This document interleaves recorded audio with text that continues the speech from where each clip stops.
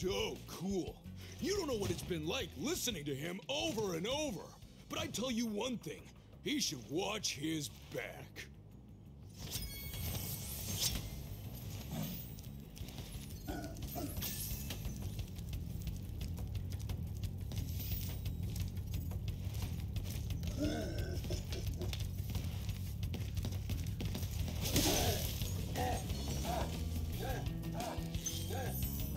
Yeah.